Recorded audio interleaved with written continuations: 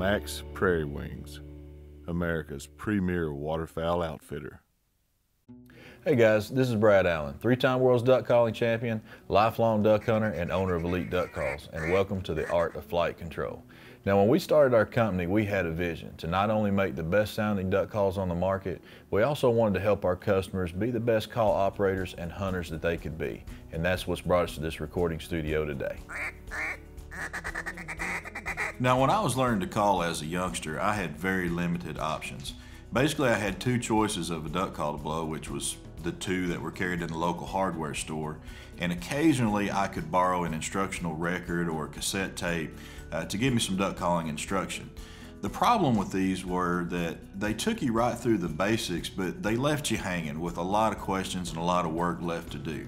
So what we're setting out to do is to produce a comprehensive program that'll take you all the way through the very basics, on through advanced calling and application in the duck line. So get your calls out, get comfortable, because we got a lot to talk about.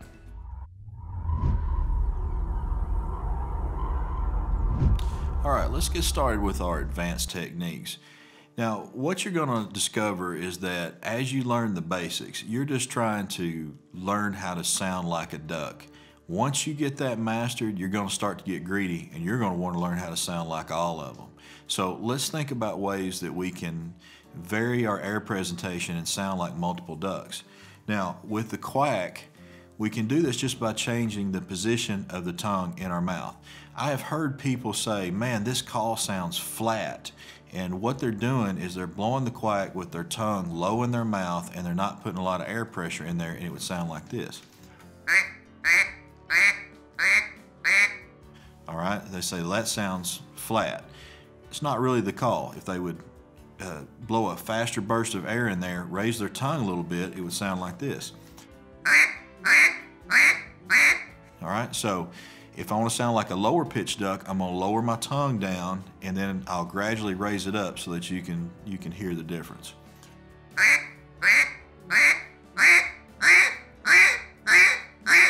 Hear how the pitch comes up as the tongue goes higher? Another thing that I can do is I can change the direction of the call and the speed that I'm blowing the quack and sound like multiple ducks on the water. So it would sound like this.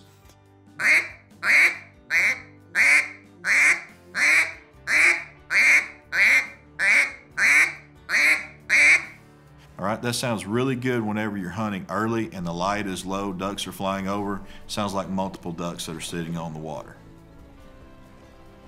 Another trick that we can do is rather than end the note with a T or K sound, we can just let the note die off, raise our tongue up in the in the palate to push air forward and it will make a whining sound. So just imagine if this hand is the top of my of my mouth, this is the top of my palate, this hand is my tongue as I blow the quack, I'm just going to raise the tongue up like this to push air forward.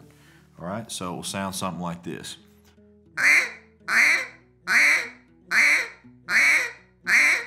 As opposed to the shut off with the T or K sound, we're going to put the little whine on there by raising the tongue.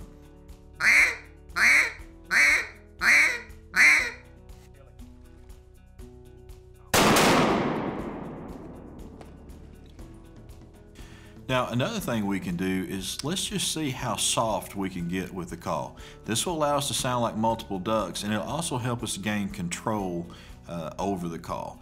Now, when I do this, one little trick that I have is I like to put uh, the tone board at the top of the call. And as you can see in this illustration, as I'm looking into the barrel, the tone board is at the top, the insert is turned so that the reed is down. Now this does two things. To me, this gives me greater control over the call and it also helps for the call not to stick. So as moisture is going into the call, gravity is pulling it away from the reed. And for guys that have trouble sticking their call, sometimes just turning the call this way and keeping it oriented as you call will really help with that problem. But let's do some quacks. Let's turn the tone board to the top and let's just see how quiet we can be. Now, what I'm going to do is I'm going to blow air softly from the from the front of the mouth. It's almost like I'm allowing air to pass around or under the teeth to get just as soft as I can possibly get.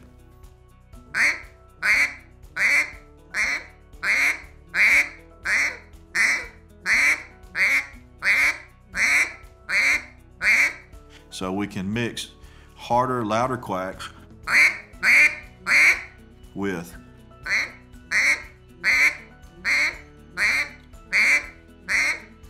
and this will let us call ducks as they're getting closer in. We're not going to flare them with volume. We're going to keep them interested with the softer quack.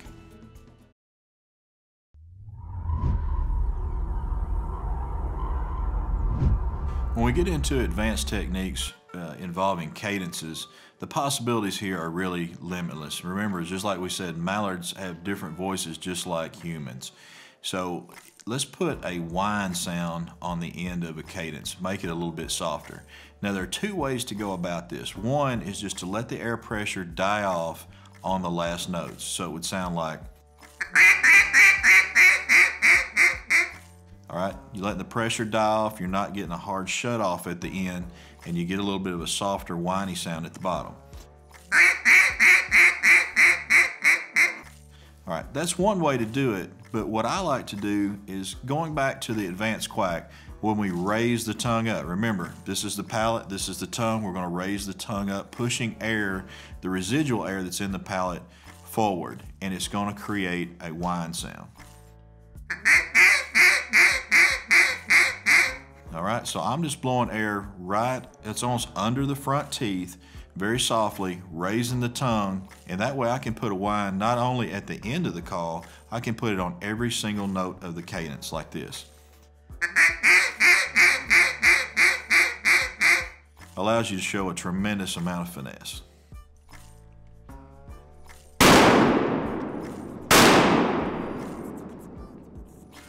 So if we take this concept of the whine where we're raising our tongue and pushing the residual air forward, then we can we can actually do something that's been nicknamed Cajun squeal, and it's just accentuating this and making it more dramatic. So if I really want to make a hard squeal sound into the call, it would sound like this.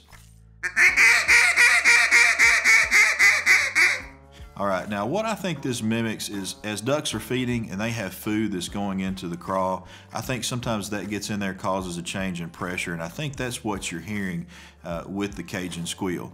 Now, when you learn to do this, the best way to do it, as with most things, is to start off slow. Now, I'm gonna do this really deliberately, and this is gonna sound terrible. It's gonna sound like a dog got kicked in the rear end, not that I would know what that sounds like. But we're gonna go really slow and blow this very deliberately. As you can see, the jaw drops down a little bit and then you come up and push the tongue forward.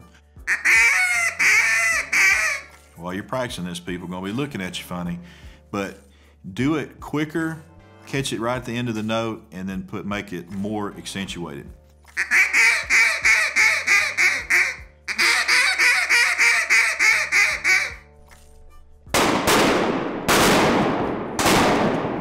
Another variation that we can throw in there is to blow a really fast cadence, and this is sometimes nicknamed a chop call. So just like when we were blowing the quack, we are talking about throwing the hand, we're going to throw the hand, catch the front of the note, and we're going to blow it really fast, and it gives a very, a very demanding cadence when done properly.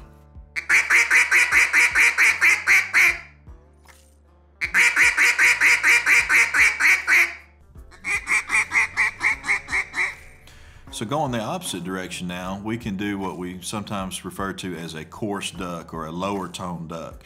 So what we're gonna do is we're actually gonna lower the jaw a little bit, open up the palate, and we're gonna take the air pressure off to try to sound like a duck with a much lower tone. Sounds something like this. Slowing down the air so there's not so much air pressure on it. And it's a really good way to put variation in there. You've got a duck with uh, showing some finesse. Really gives the impression of having multiple ducks. Now, a lot of people say that when you hear a coarse duck, you hear one with a lower tone, that that just means that it's an older duck. They like to compare it to humans. As a lady gets older, her voice is going to deepen. I don't know if that's true or if it's just that they all have different voices. I don't think that we necessarily know that this one's older or she's a smoker or what it is. I think it's just a different, uh, just a different tone of voice.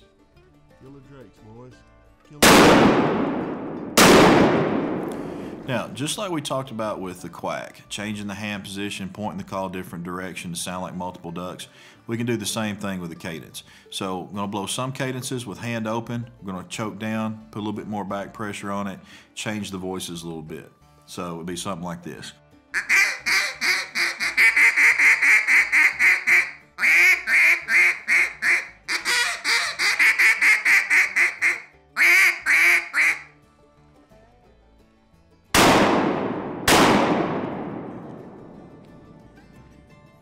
Another variation that we can throw in there is what we refer to as begging, and it almost sounds as if the duck is saying, please, please. Um, what you're doing is you put pressure on the call and then you allow the pressure to back off. So it sounds like this.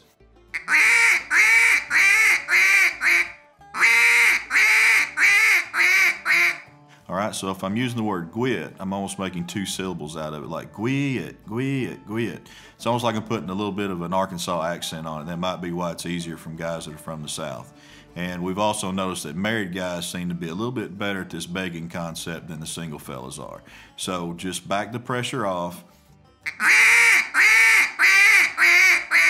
And that gives a little bit of the begging sound.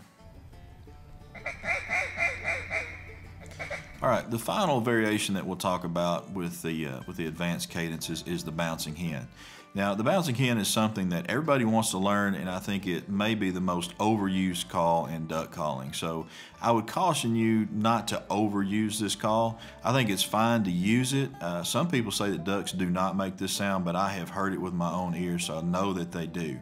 And what it does is it, it makes a double sound. And most people, when they do it, they do it wrong. They try to say, um, uh, it's almost like a DeWitt sound where they'll do it like this. And that is incorrect. What you want to do, if we if we think about a quack as being like uh, gwick or gwit, what we're going to do is add the word chick on the end of it. So it's like gwitchik, gwitchik, gwitchik. And if you look at the illustration, you can see with the CH sound that the tongue comes up. So it's, a, it's an easy place to put a little whine into the call. And as you make the chick sound, that gives you the second syllable of the, of the bouncing hen. So gwitchik, gwitchik, gwitchik. or gwatchik, gwatchik.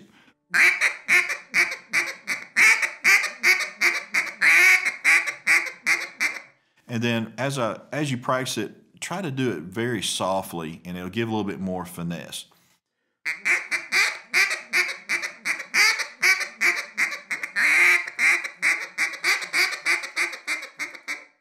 This is something I've definitely learned to do, but don't overdo it.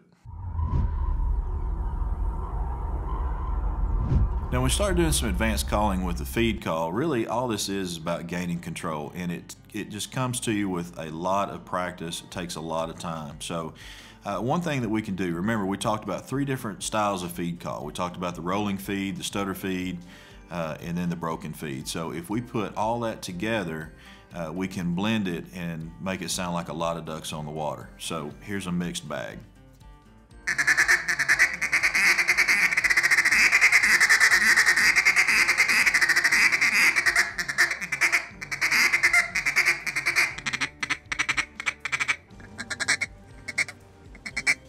Now another technique that we can use for advanced feed is what we call squeaky chatter.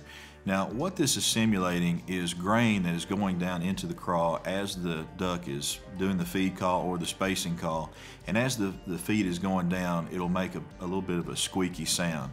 Now what you can do is you tighten up your throat a little bit and it can create a squeaky sound or you know like we said you can use the, the sound like tut tut tut uh, ending with a T, if you'll use the K sound to shut off, I think it makes it a little bit more natural for the squeaky sound. So instead of it sounding like this, I'm going to tighten up, use the K sound.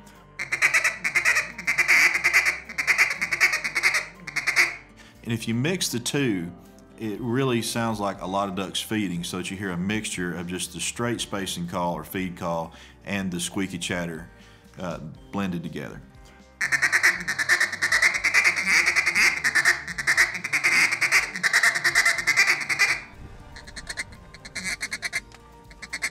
Okay, we can also do some single clucks.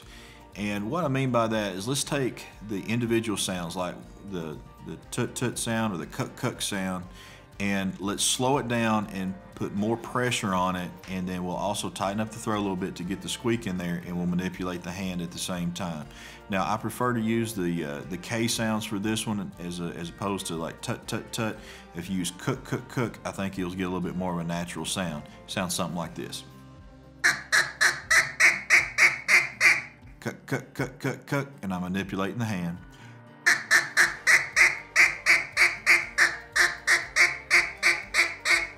All right, sounds more like one single duck feeding, but it accentuates that squeaky chatter. Now we can also sound like more ducks if we change the rhythm of the feed call. Now we've already done this a little bit by speeding it up and slowing it down. Another little trick that I like to do uh, is kind of funny to say, but if you use the words kind of like saying, I did it, I did it, I did it, I did it, I did it, it gives a little bit of a different rhythm to the feed call and helps break it up. And so this is really good to mix in. So it's like, I did it, I did it, I did it, I did it, I did it. So if we're blowing straight feed,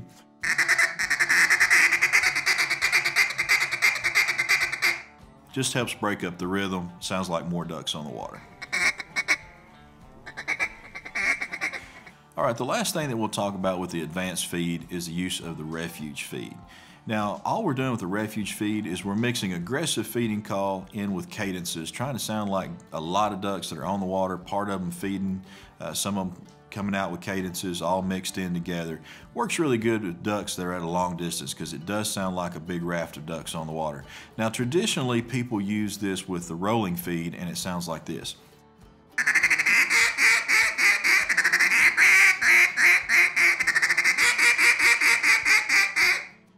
All right, that works fine, but whenever I'm hunting, I prefer to mix it in and do the refuge feed with broken feed rather than rolling, and it sounds like this.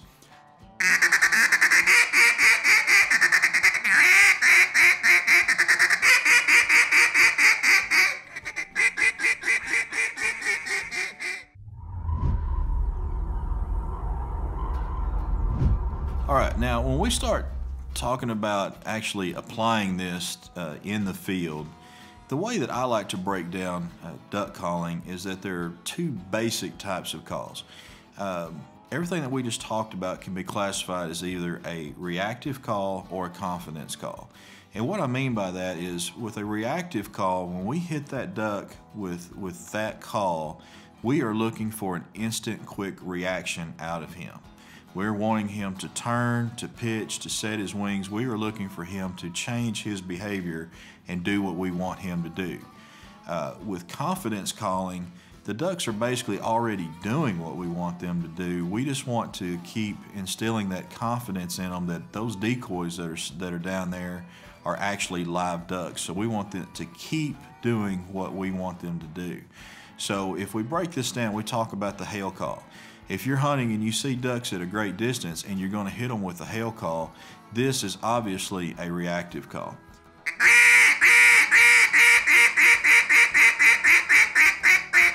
All right, that duck's flying away. We're trying to gain the reaction of getting him to turn and come investigate that sound that he just heard.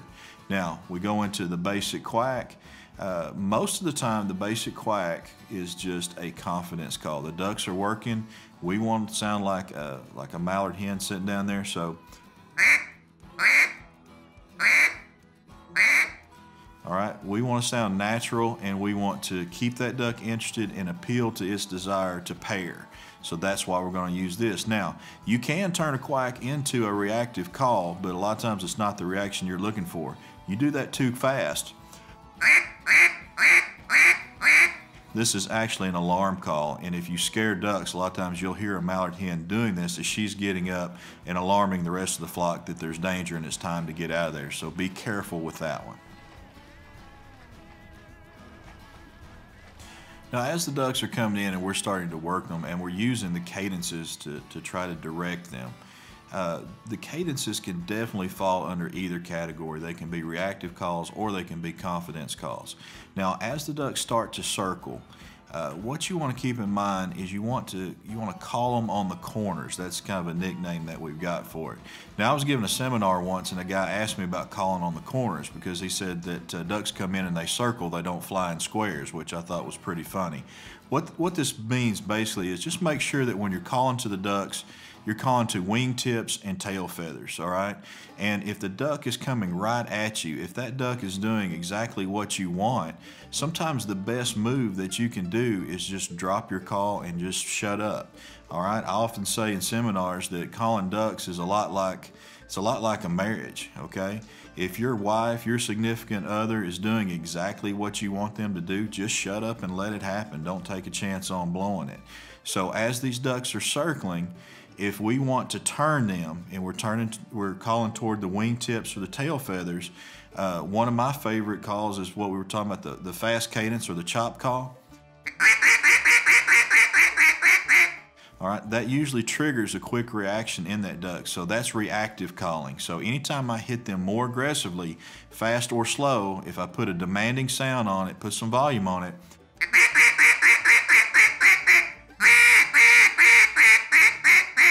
All right, I'm looking for a reaction, so this is reactive calling. Now, if the ducks are looking very interested, they're looking at the decoys, they've got their wings locked, you can tell they're dialed in, they're locked in on you, and they're wanting to come down, they're just trying to get the right angle. Uh, sometimes, especially if they've been in the air for a little while, we can use some confidence calls with the cadence, and we're just keeping them interested. We're not trying to change their their path or their idea. We're just keeping them interested and trying to speed up the process of getting the landing gear down. So a confidence uh, cadence would be like.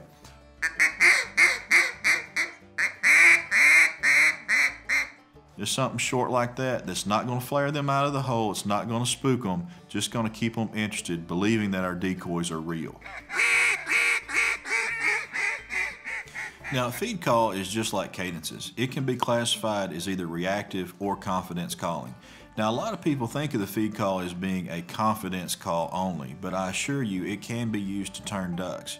Now, generally as ducks are circling, we'll use a lot of feed a lot of feed calling. If we're in a feeding area, it's a little bit more aggressive. If we're in the timber, uh, we'll use a little bit more stutter feed, keep it in short bursts, and we're primarily using it as a sound that the ducks can line up on because sometimes they're going to lose sight of your decoys as they're making their circles in tight timber.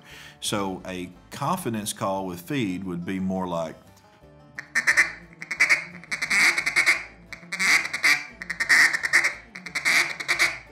would be more like that. We're just keeping them interested. They're already looking at us, they're interested, they're doing what we want them to do. We just want them to keep doing it.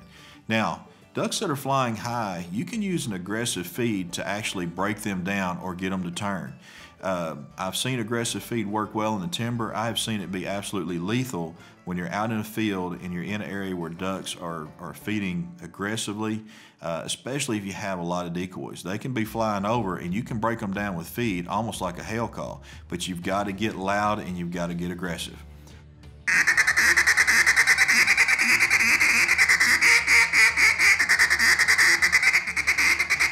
So it's almost like a refuge feed at a really high volume.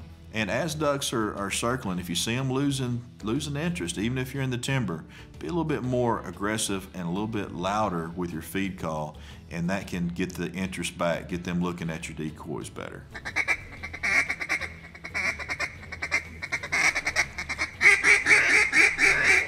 Now guys, I want to leave you with one more thought uh, in regards to actually calling ducks in the field. And this is the most critical thing, something that we've got to keep in the forefront of our minds. We've got to learn to read the birds. When we talk about reading the birds, uh, this is the difference between the experienced hunter and the novice. Watch the ducks and see how they react and make a mental note of what they react positively to and what affects them negatively. Uh, we have to make changes whenever we're hunting. Uh, there's no need in being hard-headed about it. If you're calling the ducks and you're you're calling more aggressively.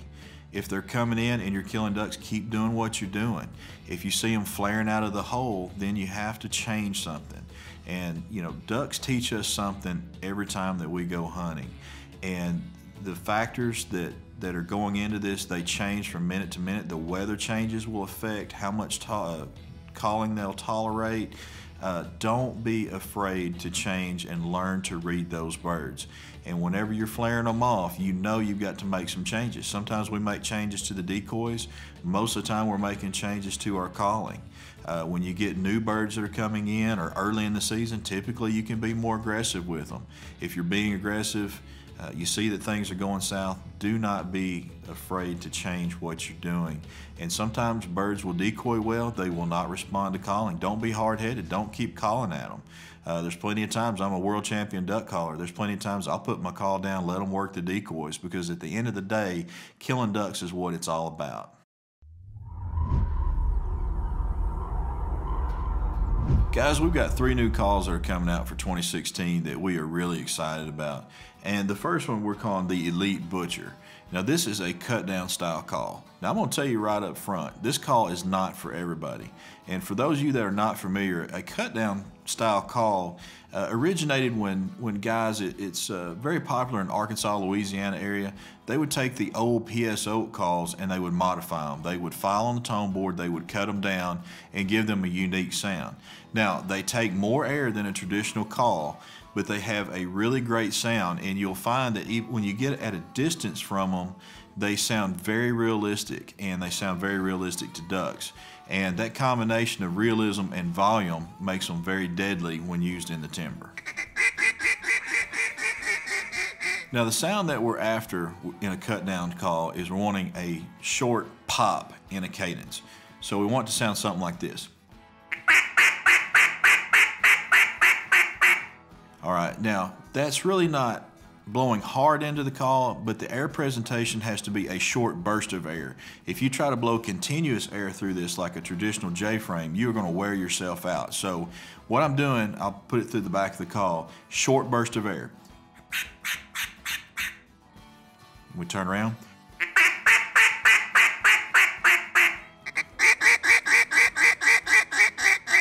Now on the low end with the butcher, it's also about air presentation, keeping everything a little bit sharper. So basic quack. You'll find that it sounds better with a little bit of a quicker burst of air with the quack and feed call.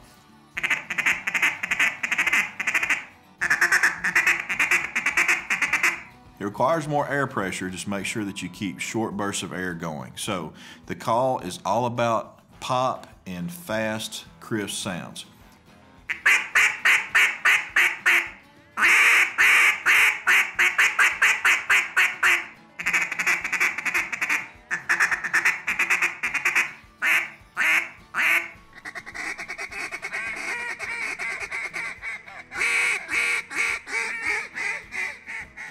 Now, the next call that we've got available in 2016, we call Murder. And trust me, this call has earned its name. Now, what this call allows you to do is bark like a cut down call, but it also maintains the characteristics of a traditional J frame to allow you to put finesse on the bottom end. So, if I want to bark on the call like a cut down, All I'm doing is I'm backing off my air pressure. If you blow this just like a cut down, you will airlock the call. So the secret is actually backing off the pressure. And what I'm putting into the call is just a short burst of air. Tut, tut, tut, tut, tut. I'm gonna open my hand. Tut, tut, tut, tut. And then when I throw the note, then it sounds just like a cut down call. And then, as the duck's getting closer, and if I want to show some finesse,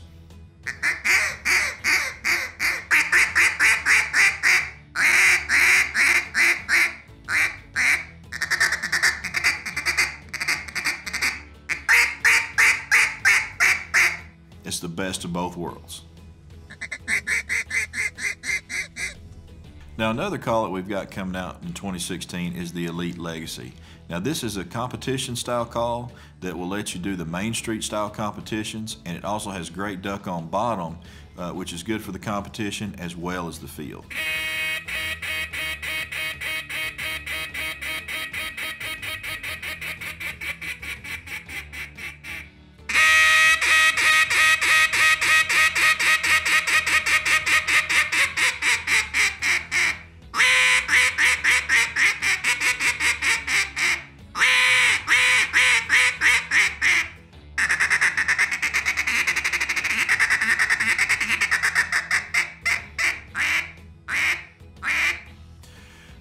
You're wanting to hold the trophy on the Main Street stage, or if you need a call for open water conditions and hold a full strap of mallards, the Legacy is definitely the call for you.